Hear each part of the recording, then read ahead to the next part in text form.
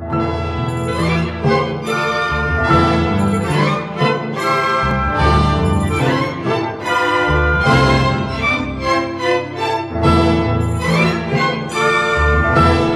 درودی دیگر خدمت همراهان گرامی. با بخش دیگری از ویدیوهای آیا می‌دانستید در خدمت شما هستیم. آقا محمد خان قاجار بخش ششم. لطفا برای حمایت از ما کانال دانستنی ها را subscribe نمایید. محاصره کرمان. در همان زمان که آقا محمد خان جایگاه خود در فارس را تحکیم می کرد لطفعلی خان در شرق ایران به دنبال تجدید قوا بود.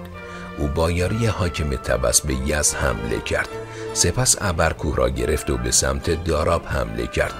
در همین احوال یک سپاه قاجاری در تعقیب وی بود و برخوردهای کوچکی میان دو سپاه صورت گرفت و خانزن مجبور به عقب نشینی به سمت تبس شد. وی تصمیم گرفت احتمالا برای یاری جستن از تیمورشاه دورانی راهی قندیهار شود اما در قاین به او خبر رسید که آن حاکم درگذشته. نتیجتا مسیر نرماشیر و بم را در پیش گرفت و آنجا خوانین محلی به او قول یاری دادند. با کمک آنها به کرمان حمله کرد و آن شهر را تسخیر کرد و در نوروز 1172 خورشیدی خودش را لطفعلی شاه نامید و سکه زد. در جریان فتح کرمان توسط لطفعلی خان متحدان کرمانی خانه قاجار یا مجازات شدند یا گریختند. یکی از آنها آقا علی نام داشت که توانست خود را به تهران برساند. آقا علی اتفاقاتی که بر خود رفته بود را بازگو کرد و از آقا محمد خان تقاضا کرد که راهی کرمان شود.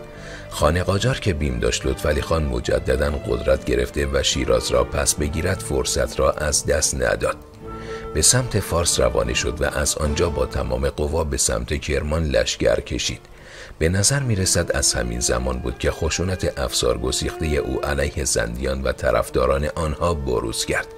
مطابق یک روایت او با دیدن سکه ای به نام لطفلی دستور داد پسر اسیر او یعنی الله را اخته کنند. پیش از رسیدن سپاه اصلی به کرمان پیش قراولان قاجاری راهی آن شهر شدند اما در نبرد با لطفعلی خان شکست خوردند سه روز پس از نخستین درگیری سپاه اصلی به کرمان رسید و شهر را محاصره کرد. چادر آقا محمد خان قاجار را در یک مایلی شهر برپا کردند و او شخصا محاصره را رهبری می کرد به گفته تاریخ کرمان خان قاجار فرمان داد. که از بنایان در لشکرگاه حاضر کردند و از بیرون شهر در برابر هر برجی از حصار برجی از چوب برآوردند و میان برجها را خندقی کنده و استوار داشتند مدت پنج ماه شبانه روز به حرب و توپ و تفنگ مشغول بودند و از فرود آوردن زیر برج ها تونل می زدن.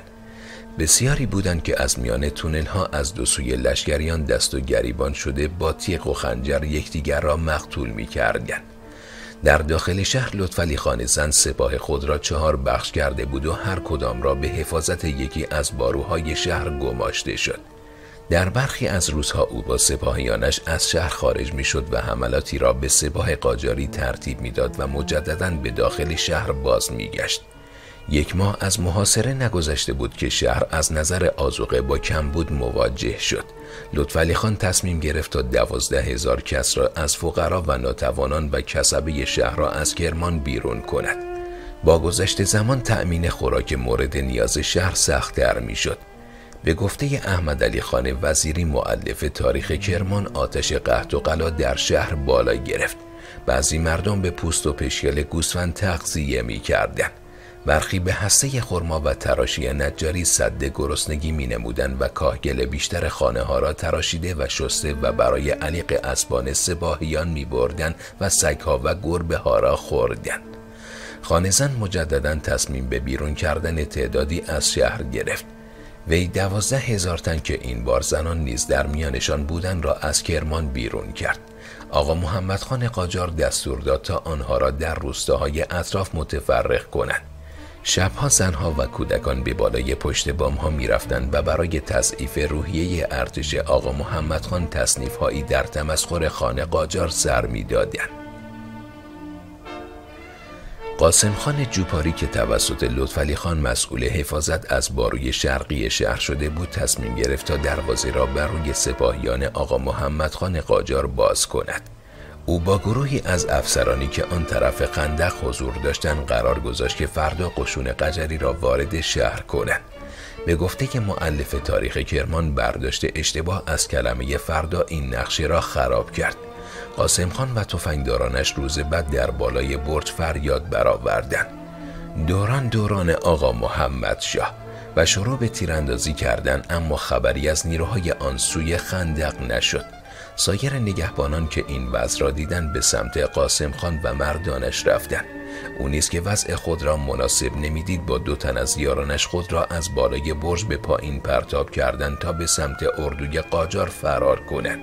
اما قاسم خان را در آن سوی بارود دستگیر کردند. لطفعلی خان دستور داد تا او را قطع قطعه کنند. وضعیت لطفعلی خان زن آنگونه نبود که بتواند به مقاومت ادامه دهد. درباره اینکه چه اتفاقی پس از آن افتاد دو روایت وجود دارد. به گفته ی تاریخ گیتی کشان نجف قلی خان خراسانی که جانشین قاسم خان در حفاظت از باروی شرقی شده بود با سپاهیان بیرون هم داستان شده و دوازده هزار سپاهی قجری را وارد شهر کرد.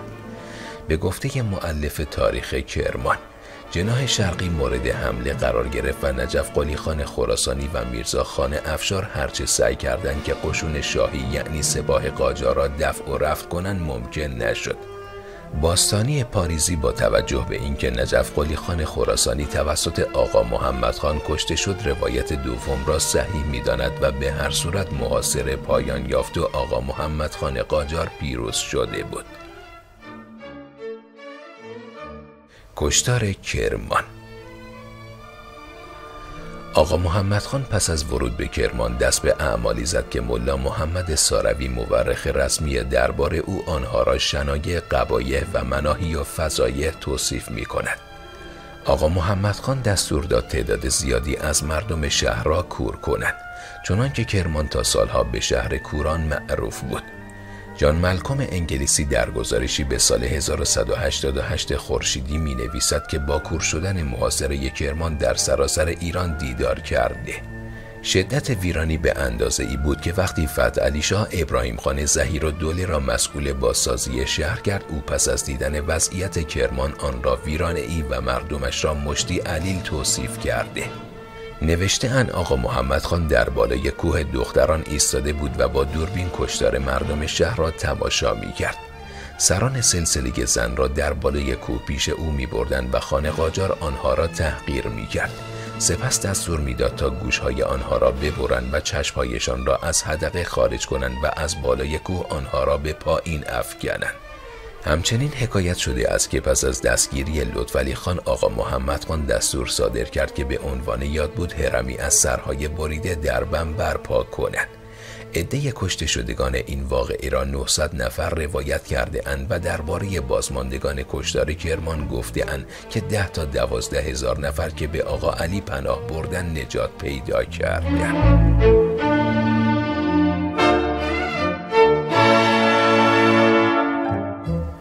امیدوارم که از دیدن این ویدیو لذت برده باشید. لطفا کانال دانستنی ها را سابسکرایب نمایید و دکمه زنگوله را فشار دهید تا از ویدیوهای جدید ما با خبر شوید.